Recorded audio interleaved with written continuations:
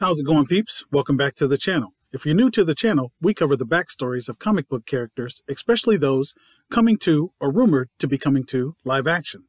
So click that subscribe button and turn on the notifications so you don't miss out on any backstories of your favorite comic book characters.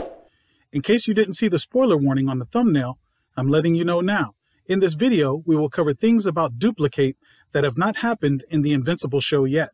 So if you don't want to know, time for you to go. Out!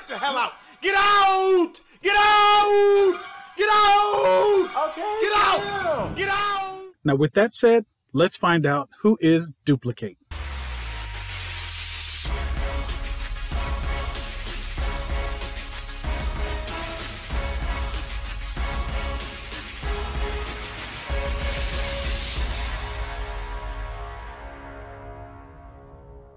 Dupli-Kate's true name is Kate Cha. She has the ability to create identical duplicates of herself at will. Each duplicate contains the same mass as the original. She has been able to produce as many as 100 duplicates at one time. Each of her duplicates have independent thoughts and actions, although they are linked to the original Kate telepathically.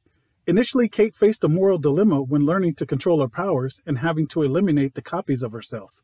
But she soon realized that the duplicates' memories were all linked to her alleviating the moral reservations she had to eliminating the copies. Her duplicates remain in existence as long as she wills them to. When the need for their assistance no longer exists, she can will them out of existence and they are reabsorbed. Kate also possesses training in Muay Thai, kickboxing, jiu-jitsu, taekwondo, and Western boxing. Centuries ago in China, a warlord named Feng Cha killed the country's emperor and claimed the throne for himself. As the emperor died, he bestowed a curse upon Feng Cha that the seventh generation, after his seventh grandchild, would be overbearing by family and go crazy. Hundreds of years later, the appointed grandchild would be Xing Cha. His wife gave birth to Kate and her brother Paul and died shortly after childbirth. This left Xing to raise the two children on his own. When the two became toddlers, they began multiplying, creating identical copies of themselves.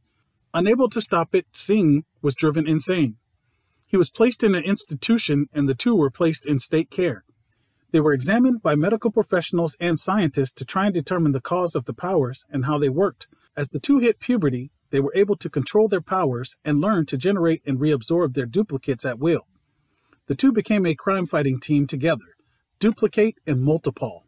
The two worked together until Kate joined the teen team. She served with the team for four years. At some point, she began a relationship with teammate Rex Splode behind Atom Eve's back. A short time after Robot informed the team they would soon disband, Eve caught Rex and Kate together. Kate and Rex remained a couple after Eve broke it off. Kate and Rex later joined the New Guardians of the Globe. Some of the more notable missions she was involved in were defeating the Flaxen and capturing Machine Head. She broke off her relationship with Rex after she caught him cheating. She and the Immortal then began dating. The Immortal and Kate eventually got married. They had a private wedding and afterwards let their friends know.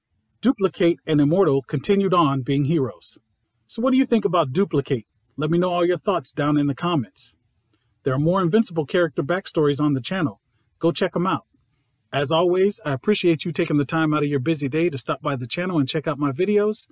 Please like, share, and subscribe. We'll see you again real soon. I'm outie. Peace.